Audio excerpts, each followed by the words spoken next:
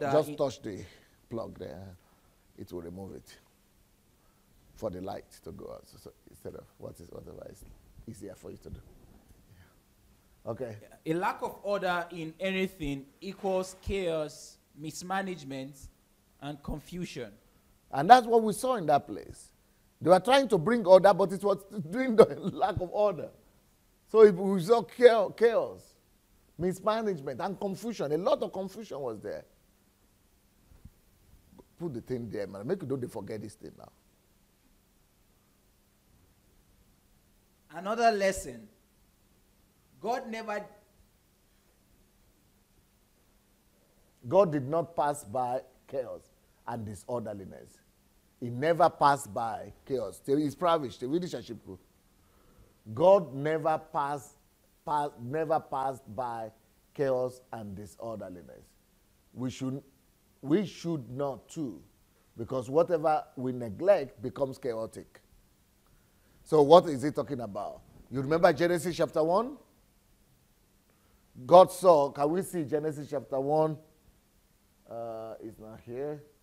Okay, in the beginning, you see Genesis chapter 1, verse 1. God saw that there was darkness without form, there was chaos. He never neglected it, he never it by. God doesn't pass by chaos. That should tell us something about ourselves. We shouldn't too. If God is not passing by chaos, if God is not passing by uh, confusion, chaos, and, but responds to them, we too must always respond to chaos. So, but how do we respond? What is the first response to chaos? One, light. The, number one, yeah, that's the greater light, inner light. That light, light in general. But there are two forms of light. Huh? Yes, great two forms of light. The greater light and the smaller light. Which is the greater light? The inner light, the smaller light. Outward illumin outward uh, light, illumination. Okay. Now, so when we want to address a situation, a chaotic situation, and we don't want to pass it by, we don't rush for action. Action must only come after the inner light has given us an idea.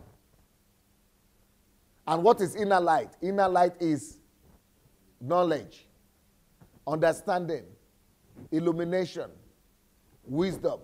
Only through, after going to get more wisdom, more knowledge, more understanding, and that understanding and knowledge that we have accumulated helps us to paint a picture of how to deal with the situation. Only after we now have a clear picture we can act. Action is not, is not advised, advisable. Action is not advisable without a, a clear picture, without the clarity of a picture.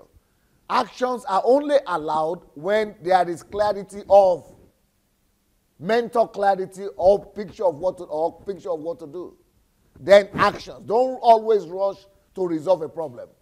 Always get your plans together. When Jesus was saying, Who wants to build a tower? If he will not first of all sit down. Why is he sitting down? To get a picture. Like architectural drawing, sketches. You want to build a tower? Don't rush to begin to build. That is not the priority. Priority is mental picture, inner light that allows you to see what you want to build. He said, won't he first sit down, calculate, and count? Does he have enough? Does he have everything it takes to finish it so that he doesn't begin to build and then doesn't finish it? And what makes people to begin to build and don't finish? Because they didn't calculate. They are th- trying to believe that, oh, by God's grace, something will happen. God will help. Miracle will happen. But that is a sign of lack of order. Order demands that you make calculations from beginning to the end because God is Alpha and Omega before you begin to start out. Who wants to go against another gov- government, um, another army in war? If he will not first sit down too. Why is he sitting down? He's making calculation. Why, what is calculation? Making mental picture, developing mental picture.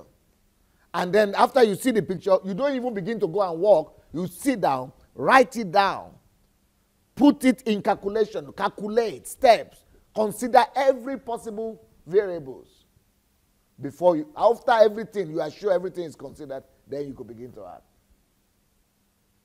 so let's read that again Another lesson God, ne- God never passed by chaos and disorderliness. We should not too, because whatever we neglect becomes chaotic. whatever you neglect becomes worse yeah it becomes worse whatever you neglect becomes worse whatever you neglect anytime you neglect disorder it becomes worse anytime you neglect darkness or chaos or disorderliness it gets worse so the best response to disorderliness is is uh, is res- to respond through light, to respond through action, and the first action, of course, is light, education, understanding, and then picture, and then you know questioning, critical thinking, put everything in place, and then physical action. Okay. Not to, not to neglect means maintenance, bringing clarity, new knowledge, improvement. Okay. So this is all in the area of ma- ma- uh, uh, so we're talking about maintenance. So if I see chaos, people are always talking about maintenance culture in Nigeria. We don't have maintenance culture. The reason we don't have maintenance culture is because we don't have this thing in the mind. It doesn't start in the inner, inner light. Maintenance. You want to bring maintenance. How do you bring maintenance if you don't have clarity in your mind? Clarity is the picture, clear picture. How does that clear picture come? Through knowledge. Then the action that you take brings about improvement. Or otherwise, or otherwise, you will have to do what the world is doing. And what is the world system doing? The world system, what it does is, I am the boss or I'm the director. I know that I need maintenance in this uh, business. I go and employ graduates who don't know anything, who don't understand what I, am after. I give them instruction, or what do you call it? Business instruction, not what do you call it? Work instruction. What is, what is it? Job description. I give them job description. Okay, go, come, go, come, go, come. I just create Uncle Sam for them. That's another way you can do it. So you employ people to do it for you. You are paying them for it, but they don't see the big picture. You are the one who sees the big picture. You are telling them do this, do this. You, you this is another way of employing slaves for yourself. You get some slaves to, to make you keep order, maintenance. That's what they, they do in stores and hostels, uh, uh, uh, hotels, and you have maintenance staff. They are maintaining everything for you, but you know what you need. You are the one in charge. At least you need to know what you need. So, nevertheless, we still need to know this whole process. Yes. We must stop. If we If, stop, if we must stop working, if we stop working, okay, if we stop working and improving something, it loses order and becomes chaotic. That is exactly what we are talking about. Anything we stop improving, anything we stop pushing to be, make better, like I was talking about Lagos the other day. Compare Lagos to London. Lagos is a new town compared to London or in Europe. These are very new towns. But go to London, you would think that it's very new. But Lagos, you would think that it's ancient, ancient, ancient because of lack of order. Any house that is built in the, UK or even in Ukraine here, it could be 200 years old house. But when you go to when you go to the to Nigeria, a house that was just built 10 years ago is already like 2,000 years old house.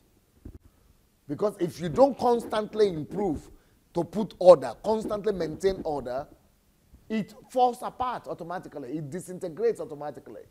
Whenever we stop improving on something, whenever we stop working on something to improve something, it, it automatically, since, no, gradually loses order and becomes chaotic. Okay? Without light and order, you can get used to chaos and darkness, especially That is exactly what we're experiencing in Africa. People got used to the absence of light, I'm not talking of electricity, you all know what we're talking about. Inner light. And then people don't even have an idea of order. As a result, the country is falling apart, chaos everywhere. And the people get used to chaos. They get you to darkness. I'm not talking of physical darkness, I'm talking of confusion. Especially if you don't question and challenge everything around you. To bring order, you must always challenge. Order is based on challenging everything. Let's see this video.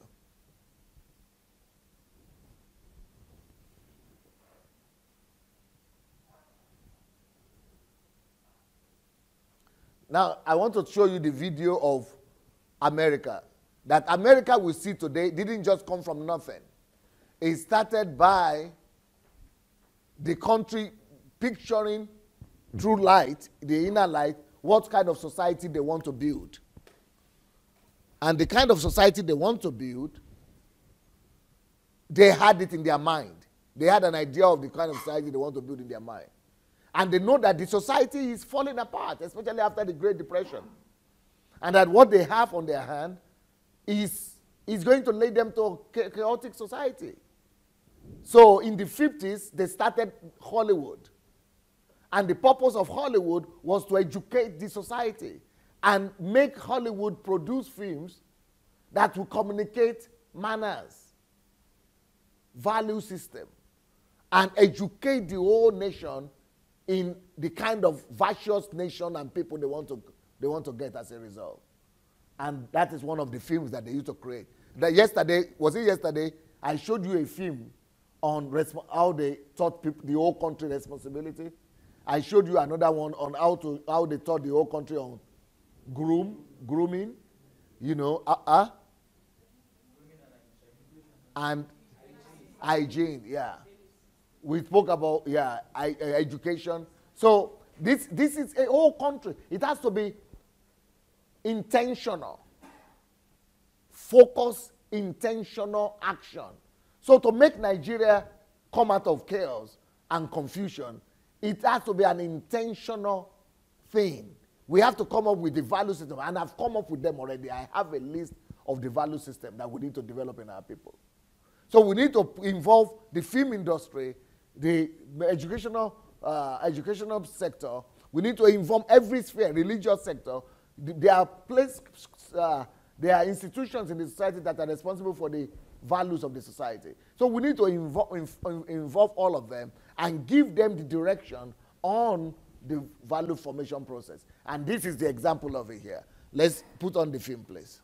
Restaurant in public, how to dress, how to behave. This is in America that they are talking about freedom.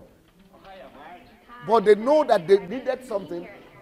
They needed to cultivate some values, some basic value system. But in Africa, we, do, we are not working on that. We don't even know we are supposed to do it. Our past, our government people are just talking about some stuff that you don't cannot even relate to life. Would you like something? A malt or soda? Okay, make it louder. A well-mannered group, aren't they? You notice their good manners right away. Good manners make good first impressions. And because your manners are showing all the time, they have a lot to do with how well people like you. We've noticed Jack's manners because, well, they seem easy and natural.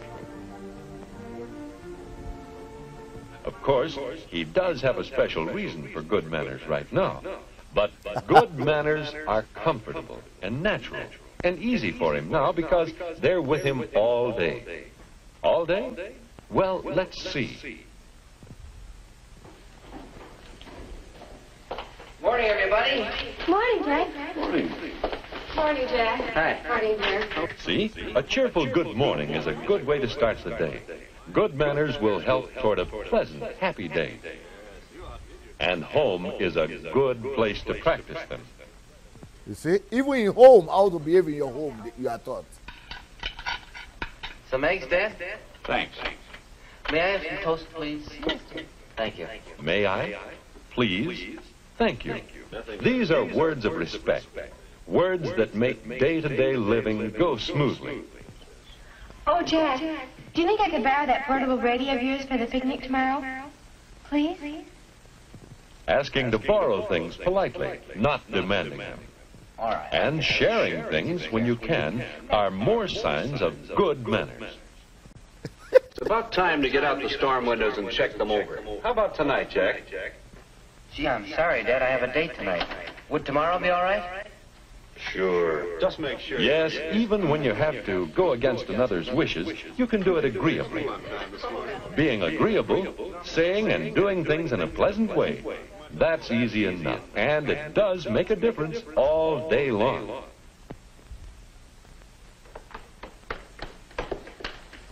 Ready? Ready? Yeah, just a second. I'll put my jacket on here. Oh, excuse me. I'll get it. Excuse me, Jack's good manners are showing again. Jack Connor speaking. It's helpful to give your name when you answer. Well, Mr. Moore, I'm I'm sorry. My father just left for the plant a few minutes ago. May I take a message? Ask him to call me when he comes in tonight. Yes, I will. Thank you very much. I'll tell him. All right, sir. Goodbye. You can be direct and brief on the phone, say what you have to say, and then stop.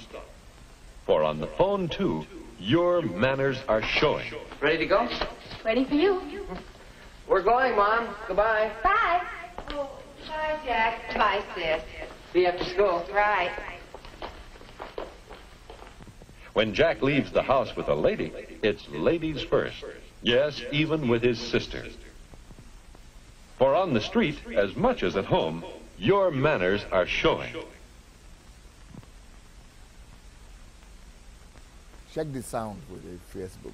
It's a simple enough matter to give people you meet plenty of room to pass. Good manners again, and they put you in a good light. Hi. Well, hi, Mary. Hi. Morning. How are you? We've missed you. I'm fine now. No more tonsils. Oh, that's right. You had him out. A cheerful greeting for friends you meet, an inquiry about their welfare, and everyone feels more at ease. That's what good manners do. They make everyone feel at ease. What about manners when the bus comes? That's right, of course. Ladies first, and no shoving or pushing.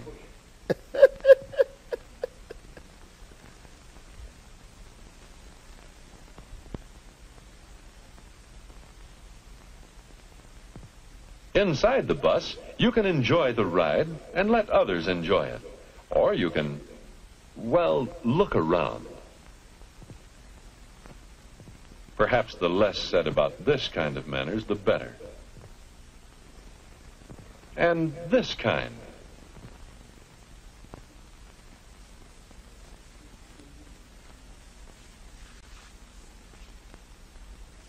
Your manners are showing. And it's good manners that make a good impression.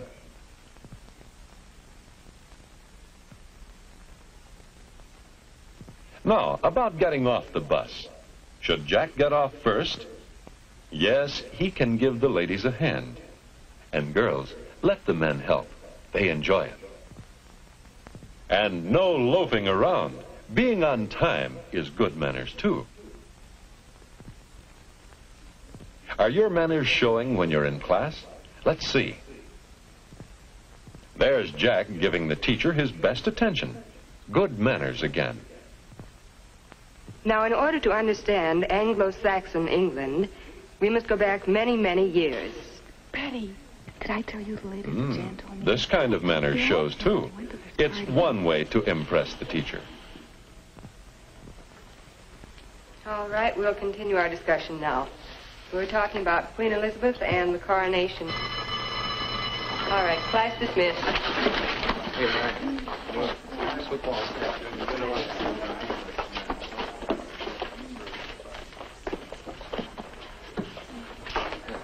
Say, I noticed you're new doing class. I'm Jack Connors. Hi, Jack. My name's Fred Johnson. Glad to know you. All right, Fred. See, I thought we might walk around the school here and I... Introducing yourself to a new classmate is good manners and easy. Jack? Say, have you seen the new school paper? No. Well, here, you can borrow mine. My sister has one I can use. An offer of help, willingness to share, and your good manners help make friends for you. And there's some plays coming up. Walking slowly, keeping to the right, more good manners. Got some nice pictures in there. Oh, I'll get them. Can I give you a hand? No, that's all right. She'll remember good manners, and that makes Jack rate high with her. Never had anything like this at our old school. After school, when it's time for fun, when it's so easy to forget about manners, what about then?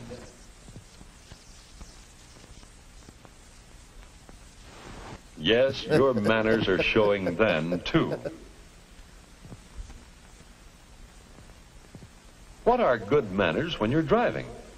Obeying all the traffic laws. Yes, but more than that. You can wait for someone to get across the street, even if you do have the right of way. You can drive as quietly as possible. No hanging on the horn or loose mufflers. There are good manners for driving, aren't there? Your manners show in the things you do, in the clothes you wear. Sis, you're not going yet, are you? Mm, pretty soon, Jack. Larry's due any minute now. Well, here's the portable you. Pardon me, sis, but you aren't. Do you think you should go to a picnic dressed like that? Picnic? Oh, the picnic's tomorrow. Oh, I guess I misunderstood you this morning. I'll put the radio in your room. Thanks. Oh, Jack, I am going to a concert tonight. Do you think I look all right? For a concert? Terrific. Wait a second. Yes, your manners are showing all day long. You may not know it. Okay, stop, stop, stop. So the whole idea is, the, the whole idea I'm communicating is that order doesn't come by accident. Any order you see in Europe today is because it was informed, intentional. Somebody created it. If you see order in the street, it's not by accident. It didn't come from heaven. Oh. Even the white people, they are chaotic by nature too. Somebody taught them. It's about training. So if you want to have a developed, a civilized society, I'm just showing you for you to know how Europe, America was pro produced. Some of us just come now and we are just enjoying what we see. But somebody taught someone. Somebody had the picture. Somebody walked through the value system, produced the value system, and then put a system in place for it to be propagated and established. Can you put on that light? I want to invite uh, Nojo, uh, Nojo to confirm to you that uh, do you, you are the only few, one of the few ones that, are, that is aware. I think we can close that. Of the fact that uh, I have already worked on the value system for Nigeria. Yes, but people don't know that that is already ready. And even how to dissipate, dissipate it across the country, yeah, you can, uh, incorporate it in the whole society. It's already there.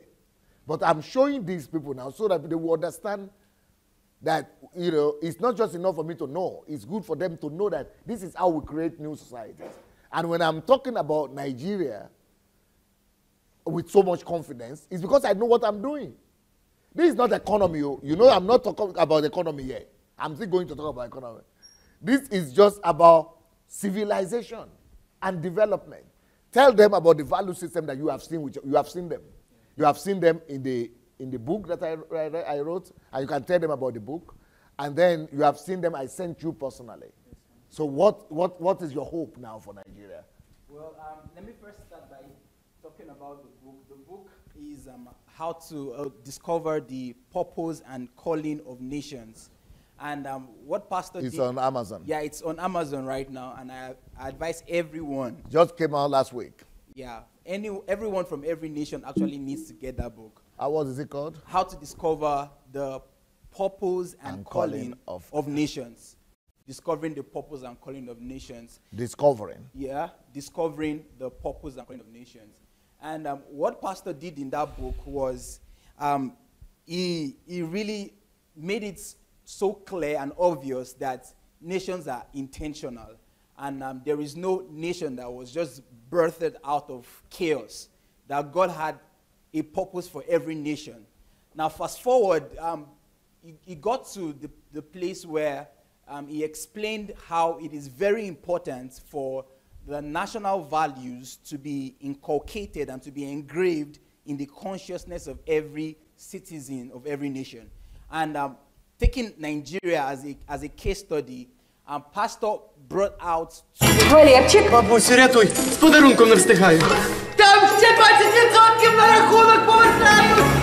Купуйте смартфони в магазинах Київстар та на шоп Київстар.ua. Повертаємо на рахунок 20... Get to Ukraine. Sorry.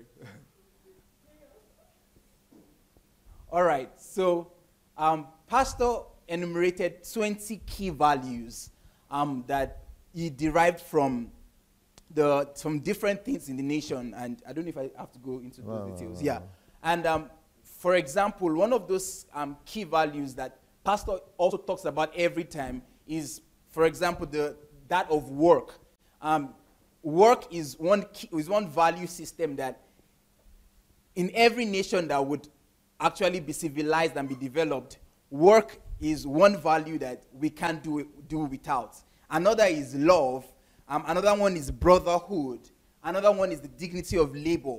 And all of these values in, in, in the book Discovering the Purpose and Calling of Nations, Pastor talks about how these values can be engraved different ways. And he keeps mentioning it if, you, if you're very observant, um, engraving the, the values through the family. Like, for example, this video that we watched, how um, are- these things are thoughts, how people can actually engrave these values, not just outside, but even in their families, in religious institutions, with NGOs and several bodies.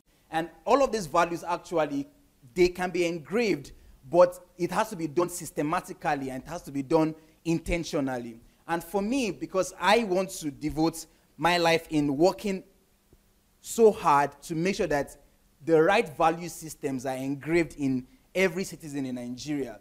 And for me, I can see, I can see it very clearly. For example, let's look at this video.